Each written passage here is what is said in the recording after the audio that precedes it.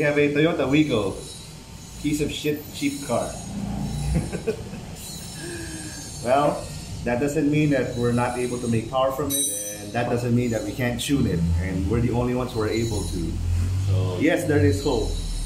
And to answer the question to everybody's mind, is it worth it? If this is your only car and you really want to modify it, yes, it's definitely worth it. Because unless you buy another more powerful car, this is the car that you have, and this is the car that we're gonna tune to make more power and at the same time get slightly better mileage. So this week already came to us with uh, this filter here. We're gonna change that out to a K&N because that's a cheap Taiwan air filter.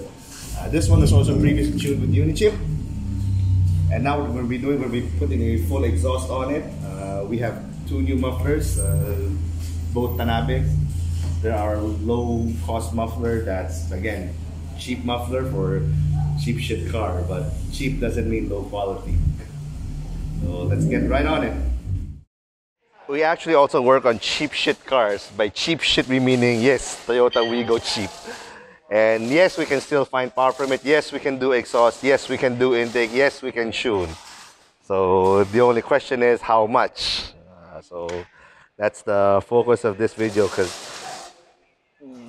by volume, this is the second best-selling Toyota. First one's still the Vios. So for this one, we're going to be doing, we're going to be doing a full exhaust with uh, using our new cheaper low-cost Tanabe mufflers. We have two styles actually. We have uh, the Tanabe medallion, this one. So it's a oval muffler. This is overall should be more quiet. And we have the Tanabe tuner medallion. A more straight through design, like so. Has this removable silencer in front. So we're gonna test both out and see what kind of sound it makes. Uh, I'm guessing this should be the more racing racing sound. That should be a bit more quiet. Uh, we're gonna be doing a full exhaust and one of the things about the Wigo is that the exhaust comes out in one piece, meaning from here up to the very front, it's one entire piece. There are no flanges in the middle. So there is no way to do a bolt-on exhaust except to change the whole thing, which we're gonna be doing. If you can't afford a full bolt-on exhaust, the only other option is to cut and weld your stock exhaust. So katay welding. Uh, we're going to be installing our just arrived Toyota Unichip just for this one. And we're going to be putting on the dyno, we're going to tune it, we're going to put in, I think this already is an air intake, but we'll change out the K&N filter for it. We're going to be documenting it step by step, how much power does the exhaust make, how much power, then afterwards, which is tuned by the Unichip. Okay, we have the exhaust of the Wigo out, so this is it. This is the whole thing over here.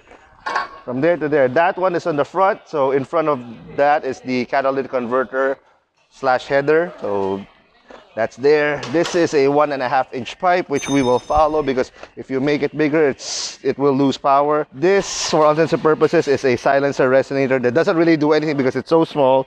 And this is the Wigo's muffler. This can here. This is the muffler itself. And this is the rear pipe that goes out to the back. So yeah, it's a bunch of pipes. yep, cheap shit car comes with cheap shit stock exhaust. Well, it seems that the medallion doesn't quite fit. It fits here where the spare tire is. So the other one fits fine, but not this one. So you can't use this on the Wigo. Car too small.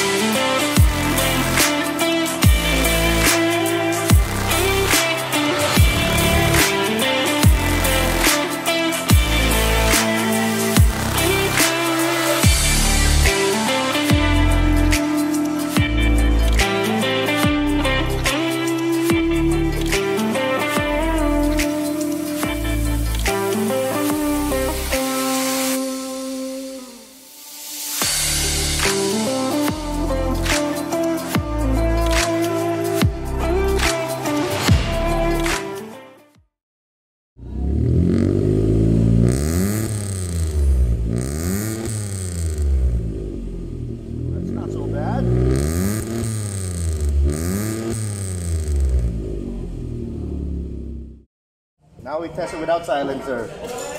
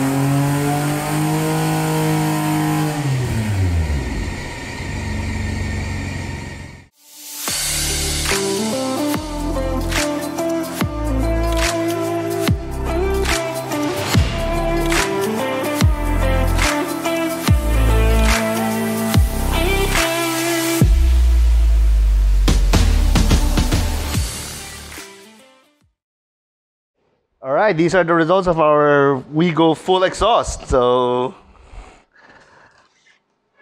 explanation needed as always. Red line here, this is stock, no nothing. Stock Wigo is around barely 40 horses, so 38, I think, 38 horse. There, 38, yeah, 38 horse. This orange line here, the one, the broken orange line here, this is Unichip tuned. So as you can see, it's pretty significant power here. It's significant here also at the bottom.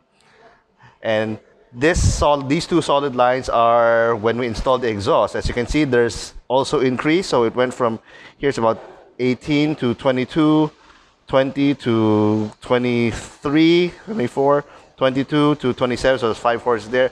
But it lost a little bit of power here but gain power here on top. So it smoothened out the graph. Nawala tong lundo na to. So it, this is what a proper uh, graph should look like. And what these two lines mean is one with silencer, one without silencer. Uh, that pretty much is negligible. So on a car this small, the silencer doesn't really make a difference. Uh, what this tells us basically is that we have to tune the, we have to retune the Unichip when the exhaust is installed. So, well, that's the whole point of tuning. And why we did that is because it changed the air fuel ratio a bit. Uh, this is our stock air fuel ratio. Um, this, no wonder matipid yung Wigo. It's super lean. This is when we tuned it with Unichip. We made it rich a little bit. And this is the air fuel ratio. Now, apparently, the Wigo is not happy with stoichiometric or a little bit below stoichiometric. It doesn't like this AF, doesn't make power here, it makes power here. So we will lean it out just a little bit to gain back the power here in the mid range. As you can see here, this bump here, we have to make this line somewhat like this also. And no, because it's lean, that doesn't mean it's dangerous. This engine is designed to run lean because it is an economy car. So the leaner it is, the more fuel it saves. And besides, as you can see, stock, it's already super lean. So we made it even a little more rich. So that's why it actually runs a bit safer too. Oh, eh, not bad. So total of about 50 horses for the Wigo, up from 38. That's what, 12 horses more, which translates to about 30% more power. So that's with an intake, exhaust, and our Unichip mod for the Wigo.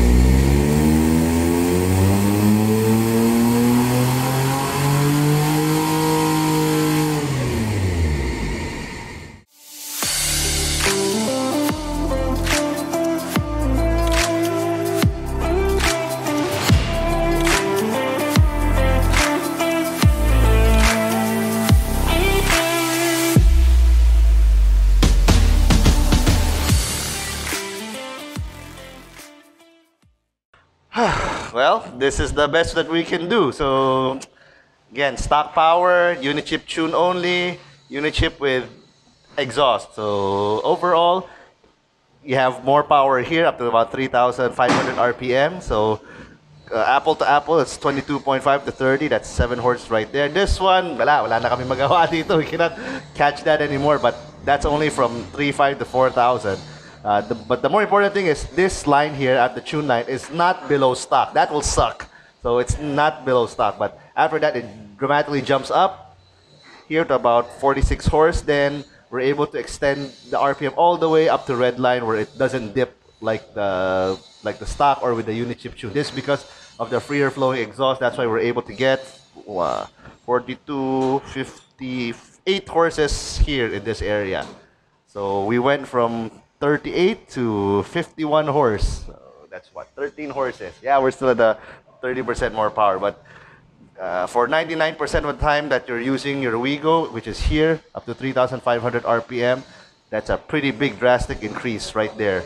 Uh, torque also increased, so if you look at this area only, which is again where you spend most of your time, that's quite a world of difference already right there.